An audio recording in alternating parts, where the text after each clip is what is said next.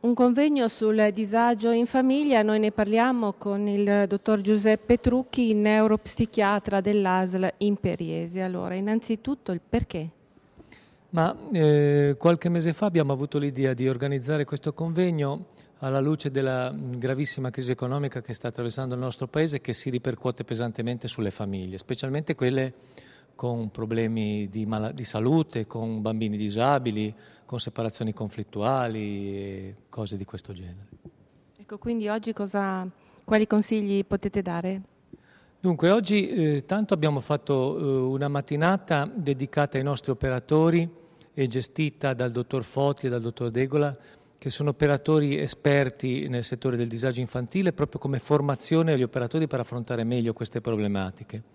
Oggi pomeriggio avremo il dottor Grosso del gruppo Abele di Torino e una tavola rotonda di parecchi operatori proprio per esaminare da vari punti di vista le problematiche non solo economiche ma anche sociali, psicologiche, affettive esistenti nelle famiglie.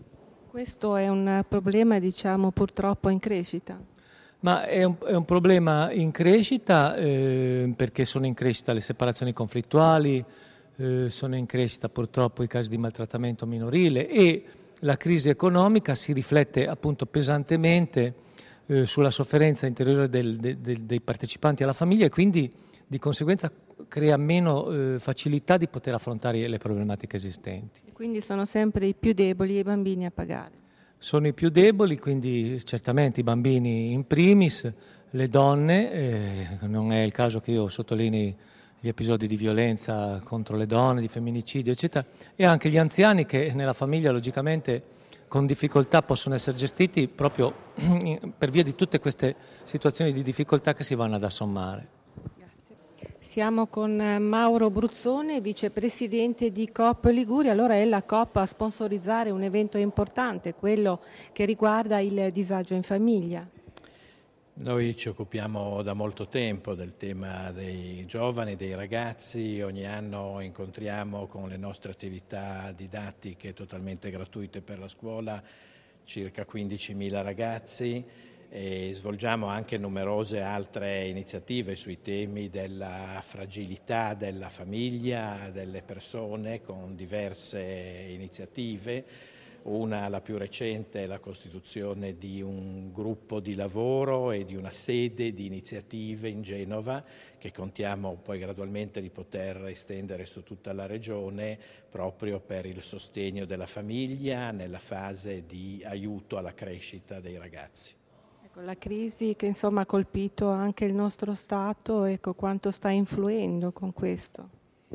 Ma eh, la crisi, se la vediamo dal punto di vista economico, ovviamente influisce su, soprattutto su alcune categorie di consumi, sui beni semidurevoli e durevoli, anche in parte sull'alimentare, ma in misura minore, anche grazie alle azioni che si fanno di eh, forte promozionalità.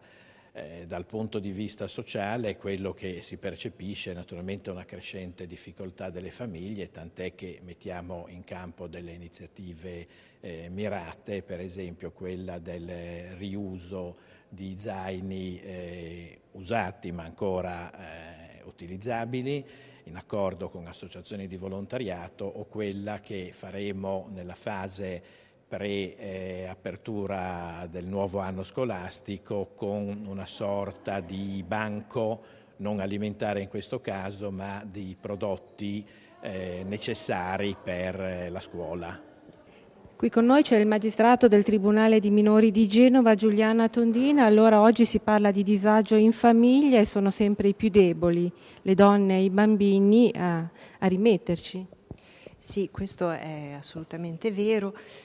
Ehm, il lavoro che il Tribunale per i minorenni fa è quello di eh, cercare di intervenire nelle situazioni sostenendo la posizione dei bambini, difendendo i loro diritti e anche eh, sostenendo la ripresa, nei limiti in cui ciò è possibile, del buon funzionamento delle capacità genitoriali. Questo è il, lo scopo della nostra azione secondo le norme di legge ed è quello che cerchiamo di fare. Ovviamente non in tutte le situazioni questo può verificarsi, allora si rende necessario qualche intervento maggiormente incisivo sulla potestà dei genitori. Questo è un allarme sociale? Ma io direi che eh, certamente l'attuale periodo di crisi ha aumentato le difficoltà delle famiglie. Mm, non direi che sia una situazione così diversa da quella degli anni precedenti. Il disagio è sempre presente e eh, secondo me non bisogna affrontarlo né con allarmismi né con ehm, atteggiamenti squilibrati.